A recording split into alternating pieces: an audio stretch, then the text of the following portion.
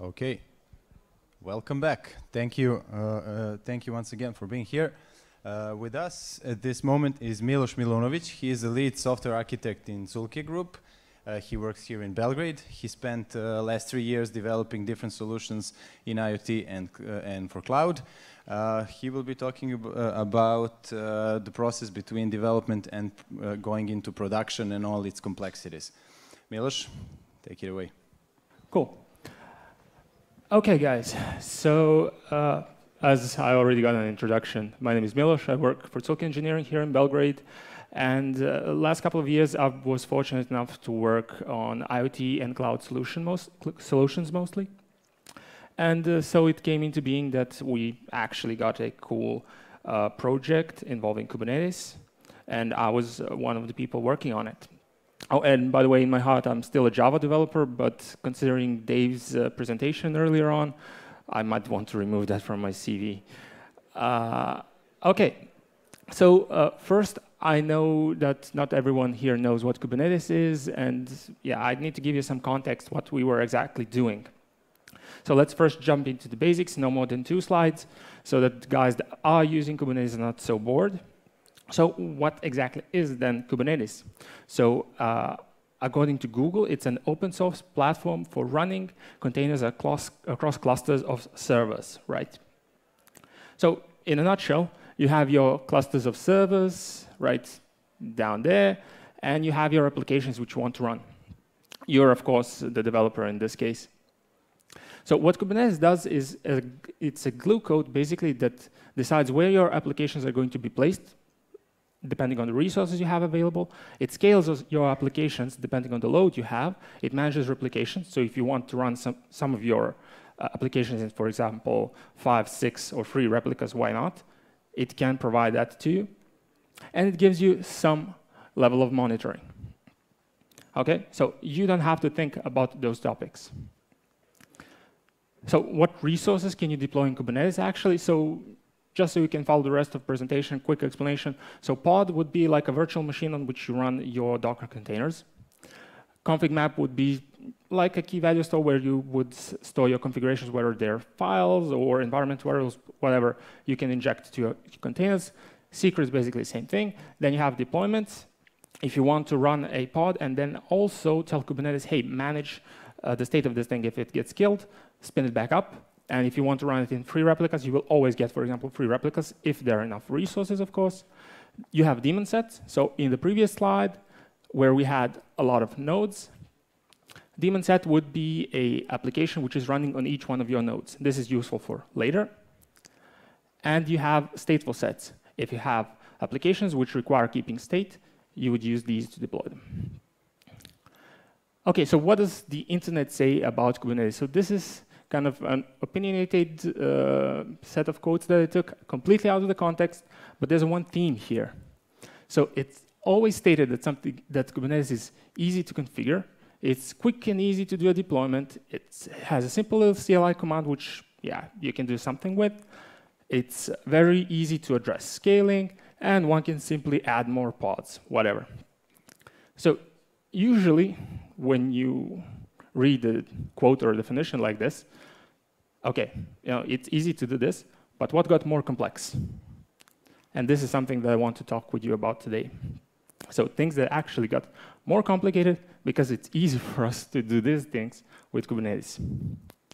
So small, in, small intro, what we were actually doing. So customer asked us to create a solution for them. This solution involved, on one side, enabling sets of development teams from different companies building applications for our customer, managing them through their entire lifecycle all the way to production, and in the end, running those applications in the production. So that meant also managing the production environment so that you know, it's stable and users are happy. So in essence, we had two sets of stakeholders. On one side, we had end users. So end users valued security, automatization, you know, the value that the application, that the given application gave them. So end users are our client and our client's clients. They don't care about buzzwords, technologies, and whatever are we using underneath. on the developer side, so we have different teams coming from different companies which are building the apps. So they want a stable environment where they can deploy. No hiccups, no, it's a, it's a feature, it's not a bug, you know, no those sentences. So they don't want any additional complexity. So it needs to fit into their workflow if, they want, if uh, you want them to use your solution. Okay, so that's a quick overview of what we were doing. So how we were actually doing CI, CD, and how did we enable the teams to test their applications? So if we go back to the previous slide, we needed to enable the teams to do a release onto this set of environments. By the way, I forgot to mention what are, what are the environments for. So we, in essence, we were building five clusters aligned into a pipeline where whenever a team developed a piece of software which they wanted to deploy, we would fire a pipeline where uh, on the first stage we would run component tests, meaning we would do some testing of the application that that team did, has created in isolation. Second testing uh, stage here would be testing in, in, in integration, meaning this would be the first time that teams from different companies got to integrate this software together. Later, teams could move their applications to staging environment. So this is something that they would call release candidate and they would like to uh, release to production. QA teams could work on this environment as well. And in the end, we have a production environment. So another thing that our customer also wanted was to have under control complete source code, so under their control complete source, source code, as well as the build process and release process. So that's why here on the lower end, we chose Azure DevOps as a platform which would be used to build and release the applications. So what's a release process in the context of the teams and how did we fit into this? So a re release is of course a process where any team builds, tests, and runs their application from development to production, right? Of course, you also need to manage the environments where the applications are being deployed. You need to manage the configurations.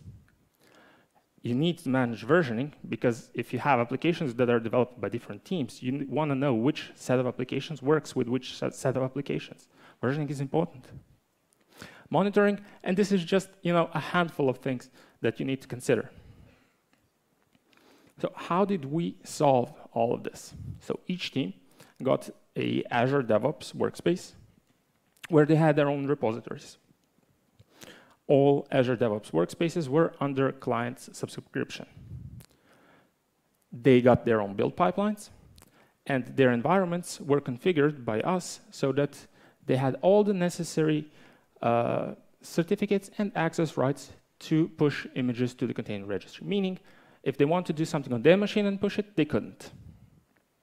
So they really were forced to use Azure DevOps. Once images got to the container registries, we were we automatically triggered our release pipelines, which then triggered the test stages. If one test stage failed, of course, you couldn't propagate the image onwards. Good. So what are the challenges then that we faced? Well, they started with you know, simple things one, versioning, I mean, why not? Uh, we had quite early on a problem where one team uh, contacted us, us, and contacted us and told us, hey, we have an application which is completely fine running on production with the latest version from Service B, and it's not doing the same thing on testing environment. What's happening? And then you figure out that there are differences in development practices between different teams. So one team just decided to hard code version latest to each one of the Docker images, meaning latest image was running on production, latest image was running on test stage, but they were in fact two completely different pieces of code. Okay, we asked them to, you know, make some changes, implement somewhere, whatever. Um, they just hard-coded 1.0 once we disallowed uh, latest altogether. So you really need to integrate with the teams and just explain them your issues, let them explain you their issues, and work together. Another problem we had was with, we, we like to call them monolith builders, but this is not so exclusive to monolith builders. You know, the guys that build one application which was deployed on one place. They had their own test environment. They, they had a name for that test environment, and it was running fine on their environment. They also had access to production. Uh, they were used to having access to production anyway, and they wanted to have access to production because you know sometimes something fails and they liked using CLI to manage their apps. Of course, you really needed to explain to these guys that access to production is not a good thing, and this is something that we were responsible to manage and not give anybody access to prod. Their release was quite easy, and it was quite easy to integrate this into our Azure DevOps workflow. So, you know, just one build pipeline, that's it. So solution to everything is usually microservices. That's what people say anyway. So solution is just move to Microsoft, microservices, everything will be easy. But these guys also had some issues. So when you talk about microservices, you know, you're splitting up, splitting up everything into services. You get this service-oriented architecture. It's been a thing for, for a while. It's nothing new. So one team worries about one service, again, fine. And complexity here moves to operations. Okay, I mean, fine. The problem here is what happens with cascading failures, what happens with networking. Who now worries about this? And if you're in an environment where you have one team developing application and another one team, another team develop, developing a platform where this is hosted, you get in a whole lot of issues. Okay. So yeah, another thing, how to release the microservice. So our Azure DevOps pipelines were quite sufficient here as well. So you release one, and then you release the rest of them, and you know it's it's quite easy. So what exactly changed for different teams? On one side, we had monolith builders which wanted to deploy on this platform. Our client bought their services and wants these applications deployed. On the other side, you had microservices which also needed to be deployed. So all teams needed to reorganize to DevOps. Again, DevOps is not a good thing, it's not a new thing, it's been here for a while, and everyone should uh, have their own CI/CD pipeline, do automated testing, and all of that stuff. It, this was not accepted well by all of the teams, but they grew to like it. Next thing that most of the teams really enjoyed. So we were building a platform with a bunch of Kubernetes clusters, but we were providing also services to the teams. If you required a MongoDB, we would provide one to you. If you required a Redis cache, yeah, sure, we can deploy it in our cluster. If you required messaging queue, sure, you can get it. So they could get services on demand whenever they needed them. So this was kind of a new concept for some of the teams where they could just say, hey, I want to have this. Perfect, you got it. And the others that already were quite used to using cloud solutions, this was you know, quite fine for them. Next thing is automation. So everything needed to be automatic. Our client insisted on it, meaning that if anything happens, we could restore the entire environment. Of course, uh, we had to have CI/CD pipelines for everything, so everything needed to be automatically built. And also another thing that was required was to have a way to roll back to a previous version, for example. You know, if you want to deploy an app and something fails, you always want to have an easy way to go back to a stable state. If a client wants to do header-based routing, for, for example, for whatever reason, you need to provide this feature to them. If they wanted to do blue-green deployments or whatnot, yeah, sure, why not? It was our responsibility to be able to provide any of these deployment techniques. Of course, usually say microservices are the solution for everything, but this platform was kind of built for microservices. And technologies I'm going to talk with you about today, so cover basically this spectrum. Let's jump to the first tech. So how to do release management.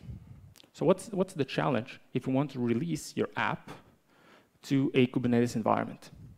One would be version control. As mentioned, you're deploying an app. Your deployment fails. You want to be able to roll back. You want to know which version is running on which environment. Versioning is important. Next one would be config management. So versioning the app is not the only thing here that's important. if you have an app A, so version A, running with certain set of environment variables, and then you redeploy the same version with another set of environment variables, even though it's the same app, those are completely two different releases. And one might work, one might not.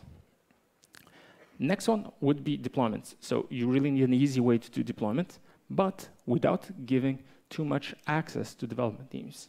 Preferably, you want to give them everything on mouse click, bam, everything is deployed. So development teams are developing applications, right? When their development finishes, they want to have an easy way to test everything. There's no easier way than just clicking or automatically having something triggered. Rollbacks I already mentioned, sorry. And of course, security, it goes hand in hand with what I just mentioned, not giving too much access at any certain point in time. So release management, let's, let's go through that. I mean, what's, what's the easiest way to manage a release of an application to several different environments? Well, we found this cool tool. It, it's kind of becoming already a standard in Kubernetes world. It's called Helm. And what it does, it's essentially a templating engine, which takes some charts, which are configured per environment, fills in the templates, so generates YAML files, which are essentially Kubernetes deployments, sends them to the Tiller server, and this thing then contacts the Kubernetes API and creates a deployment. So what you get in the end is, example, a pod of your choice running in the cluster. This kind of, this model is, is perfect, and it also allows us to do rollbacks because Tiller server, when they create a deployment, they keep a copy of what they deployed each time. So deployment one was service A with configuration B deployment 2, service A with configuration C, and so on. There's just one problem with this thing, that's this Tiller server component. So if you ever find yourself in a situation where you're using Helm, Tiller server has too much rights. It has administrative access to the cluster, and you really don't want to have anything with administrative access running in your production cluster. So solution was just moving Tiller server out and having something like this. Okay, so I kind of covered how we do releases, the environments which are there for testing, and how do the teams actually manage their own deployments. Let's just now move into techie stuff. So, simple thing, logging. I mean, what can be easier than this? But let's, let's think about it this way. So Kubernetes manages placement of your applications. It manages scaling of your apps right? You have an application which you don't know where it's running. It needs to publish logs, which you need for debugging, and it can scale out, meaning you can have at any point three, five, ten replicas of your application. How do you aggregate your logs in time? So I want to know in which second what is happening with my, my apps. And in front of your application, since they're scaling, of course, you have a load balancer, which you know distributes requests. So not all requests are going, always going to the same in the instance. Next question would be uh, how to search through those logs. You need to provide an easy way for whoever is debugging the app to get to the logs, how to remove the old logs, where to store them. Should we use an Azure solution or go with our own? So solution here that we went with involves merging couple of technologies. So this is something known as EFK stack. So what, in essence, what we did. So on one side here, we used a daemon set of a tool called FluentBit. Nice little application, which simply does one thing. Picks up your logs from the nodes, so your servers in the cluster. Uh, quick hint, Kubernetes is uh, logging all standard output to a uh, file on the root disk of the machine. So FluentBit picks up those, those logs, does some initial parsing, so you know, splitting them up by service which generated them, and then passes it on to FluentD.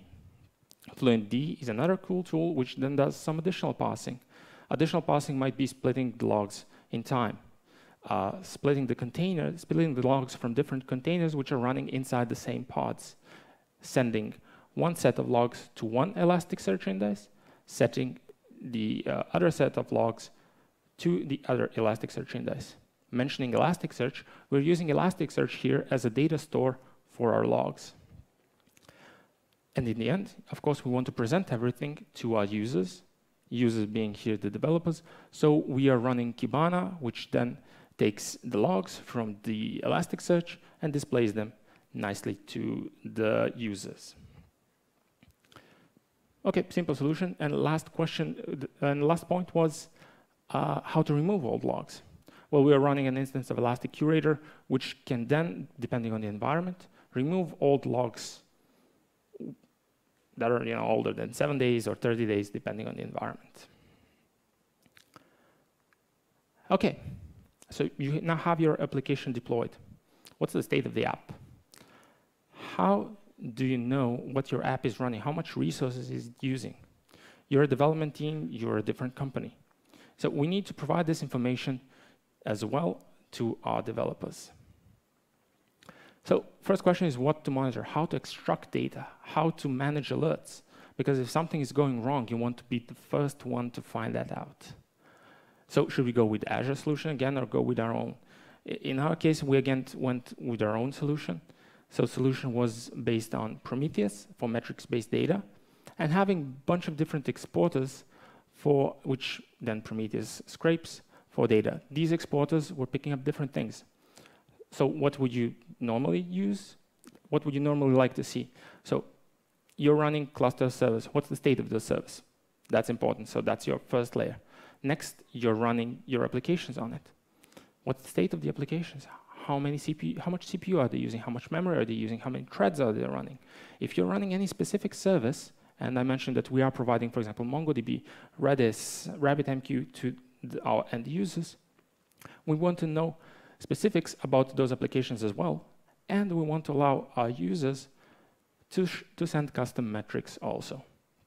So simple thing here, just added exposures for whatever we needed. And this is for metrics-based data. Send them to Prometheus. And we had Grafana dashboards in the end, which were displaying data to the customers.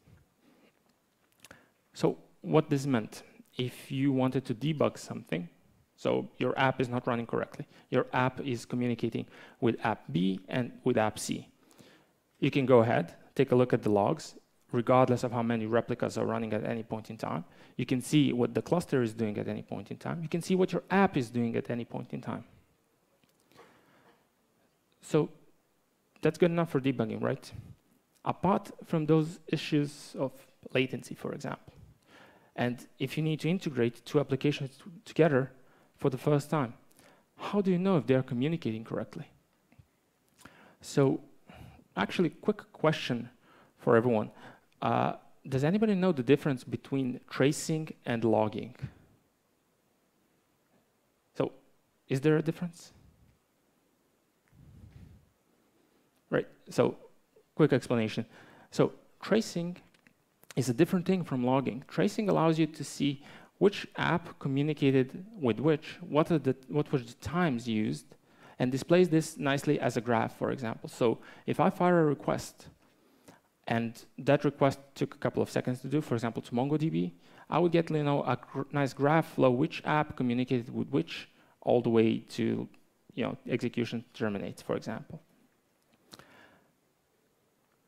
Okay, so how do you implement then tracing across applications which are done by different teams and in different languages? So we searched around for a bit and found this uh, nice standard called open tracing. It's compatible with most of the common programming languages nowadays. And you can just include a library to your already existing solution. And that would basically it. Oh, it's, it, it's also Zipkin compatible if you're using Java. So what this gives you inside the Jaeger UI, which is the tool which we're using in the end, and providing it, of course, to all teams, you would see nice workflows, which app is communicating with which, how long did the calls last, uh, what was the payload if teams decide to provide such data. Oh, and uh, one more thing. I said this is, open tracing is compatible with most programming languages. If it's not compatible with some specific language, it does provide you with documentation how you can modify your headers to use it as well. Okay. So we had now a running cluster. So we had a way to deploy the applications, to, of course, first build them. We had a way how to provide logs to the teams. Teams could now monitor what their app is doing. We had alerts for ourselves, so we could be the first ones to figure out when something is wrong. We had a tracing, uh, allowing the teams to debug their apps. Now let's move to management things. So you're running a Kubernetes cluster. How do you back up the entire cluster? I mean, really back up the entire cluster. You don't, you know, redeploy each app one by one. So you had running services, a lot of them, you know, hundreds or thousands, and you needed to back them up at a certain point in time. Oh, and they're running acro across cluster of service, of course. And be able to restore it. Also, what happens if entire Azure region falls apart? I don't know, there's a huge fire which destroys completely all data, or tsunami, or whatever. So here we found a ready-made solution for one use case, but we had to tweak it a bit to make it work completely to our uh, advantage. So when we started using a backup solution called Ark at first, it was at version 0 point something, and it was probably one of the only solutions out there for uh, backing up and restoring a Kubernetes cluster, but only managed Kubernetes cluster hosted in, I think, AWS, Azure, and uh, Google Cloud. So it was later rebranded as Velero, and currently it's in version 1 point something, so it's still, still a young technology. So what it does for us so we have a, a Kubernetes cluster with a bunch of services running. It takes all the definitions of all the deployments we have running in the current cluster, stores them in a storage account in Azure for us. So those compiled YAMLs that I talked about early on. And regarding persistent uh, storage, for example, disk drives, for those, Velero just takes snapshots and store them in the, stores them in the resource group of our choosing which is quite practical. If at any point we need to restore anything from one service to the entire cluster, we can check, just tell Velero, hey, please restore this service, and you get the data back. Small disadvantage of it, it's, it does take quite a bit of time to do. And another one is it does not allow us to do a uh, backup into second region or restore from it. So that was the part which we needed to do manually here. Oh, uh, and one more thing, uh, if you are using such a solution, please make sure that your storage accounts are uh, not uh, locally redundant, but geo-redundant. And if your service is, of course, using any sort of storage accounts, they should be geo-redundant. Now, interesting thing about Kubernetes is doing cluster upgrades. It's a young technology, and there's quite a bit of changes between different versions of services. Sorry, between different versions of Kubernetes. So here the challenge would be how to upgrade Kubernetes version, how to allow system to, we're here talking about uh, system on the nodes themselves, to update their operating system, and how to allow, for example, for Docker upgrades to take place, which do require a reboot of your uh, servers. Okay, so solution for there's a couple of solutions for this scenario, but in essence, what's the problem? So if you have node one, which is running you know seven applications, node two, six, node three, five, if you just try hard restarting any of the nodes, what will happen? Your pods will not have where to reschedule. So one solution would be to do it manually, you know, just add another node to your cluster, and do a restart. Those pods that were running on this specific node just get rescheduled here. You can just quickly perform a restart. You do really need to uh, keep in mind what's your cluster load at, load at any point, because if you want to do this while cluster is under heavy load, you might just crash it. Next one would be next solution would be to float some resources. So floating resources is you know beneficial if you have varying loads uh, which are burstable, so your application starts using a lot of uh, CPU and memory and then just drops. But on the other hand, if you want to do cluster upgrades and you want to restart any of your services, it's quite easy. So you can just freely restart your node 2 or whatever. Pods get rescheduled, you're fine. Important thing here is if any of these nodes is having a higher load and you restart it, it might not have enough space on another node to run its course. And this is all well and fine, but then you start digging into documentation and you figure out that bigger cloud operators like AWS and Azure, for those I'm certain, do actually require you, not, not require you, but recommend a different set of upgrade strategy. That would be just cloning your entire cluster and switching your DNS configuration to point to the new cluster.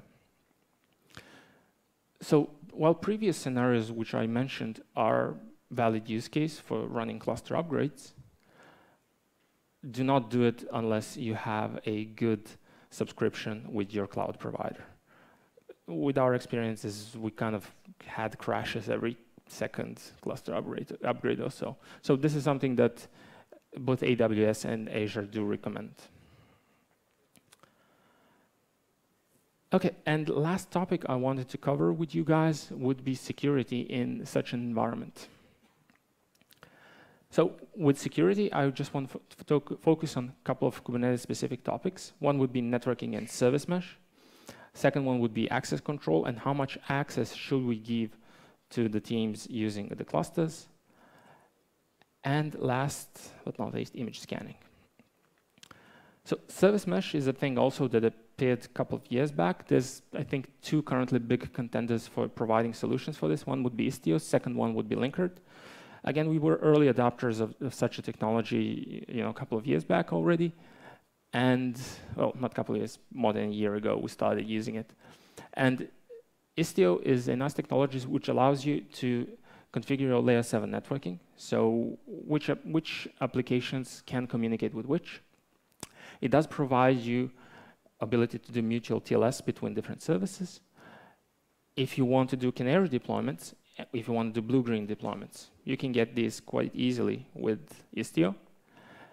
Uh, it allows you to header-based routing and much, much, much more. It's a cool tool, and you know it allows you with just one CLI command to control your networking on the application level. So uh, what are the components? So in case of issuing MTLS certificates, you have Citadel, you have Pilot, which uh, sends configurations to the proxies. Each of your pods gets additional container deployed into it. This container is acting as a proxy for all your traffic. And if you need to configure anything, you are using basically a component called Galley. Layer 7 networking, though, might not be enough to uh, in, in your case. So default policy on layer 3 in Kubernetes is allow all, and Kubernetes does support network policies. What does this mean? Uh, so it means that you can just say uh, from this pod to this pod on network layer, just there's no traffic. Okay? And it does this dynamically uh, so it knows where your pods are deployed. So important thing though, network policies in Kubernetes are quite new. So if using them, you need to be aware of a couple of things. So not all network plugins for Kubernetes do support all network policies. And virtually none of them do report what's actually happening in your cluster. So important thing is to test for policies. So once you deploy a policy, test whether it's actually applied. And alternatives do exist because network policies in Kubernetes are quite a new thing. So Calico started developing uh, previously, I think, to Kubernetes network policies. Last one, image scanning. So image scanning is another new thing. I mean, Docker exists from 2013 or so, and uh, Docker Hub, JFrog Artifactory, and Quay do already have image scanning in place. So if you deploy a uh, so if you push an image to container registry, any one of these, it's automatically scanned for known threats. So it's like an antivirus, just going through whatever you're deploying. If there is any threat found, sure, it will notify you and just reject the image. Perfect. But what if you have long-running applications inside your cluster? So for example, you have an application which is running for one year. And in the meantime, there was a new high security threat which was detected. None of these would notify you that you have something dangerous running in your cluster. Some of the solutions for that could be you know, using tools like Clair or Anchore. And these tools can provide you the ability to scan selected images whenever you want. So in our case, since we are using a container registry which does not support any image scanning at the moment, we, are, we have configured Anchore to scan all, all of our images on uh, image push, actually, sorry, on image deployment. And we also do have the ability to scan the images continually, though this is currently not implemented fully. So regarding role-based access, how much access should you give to the guys using your environments? So limited access to developers on all environments apart from dev is of course a must. Important thing to note that all Kubernetes clusters do have an internal and external API and service account tokens from the internal API, from the nodes running in your cluster can be used against your external API, granting any attacker access to your cluster. And last one here is to manage role-based access configurations in the same way you do deployments.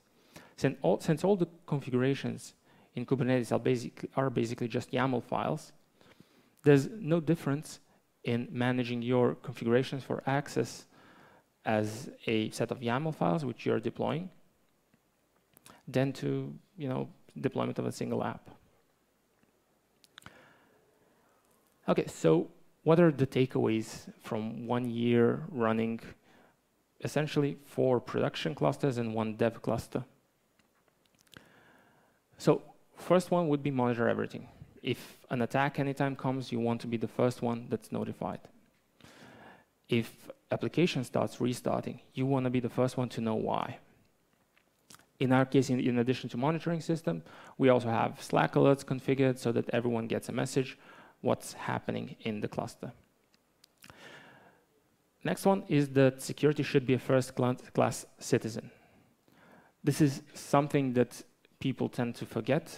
Mostly if you have developers which are just focusing in providing some value, they tend to neglect the security factor of this. And the person that's responsible for the platform solution should be the one that worries about the security. Integrating with the developers of your solution as much as possible. So similar example to similar to the example I gave about versioning problem we had. So just talking with each other would mitigate a lot of the issues. Important thing is to automate everything, and I really mean here everything. So if at any point you need to restore an entire cluster, you want to be virtually a mouse click away from it. If you want to deploy anything, you want to be a mouse click away from it. But important thing is that you know who has the access rights to click these. Don't give everyone the access. Not actually, so give access to other environments, but to production, definitely not. Regarding production environments, you need to give the tools to developers so that they can do it themselves. This is quite important. No, database access, of course, to the teams whatsoever. This goes without saying in 2019. And we need to make all testing automated. Last one kind of goes uh, is similar to the one to the four points previously. So provide developers with required tools to manage their applications so that they don't bug you. And I think we have a couple of minutes for questions. So any questions?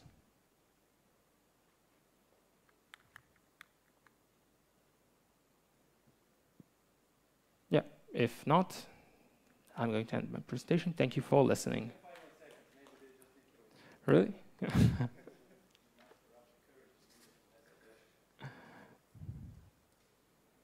yeah, I'll be I'll be around anyway, so you can recognize me easily.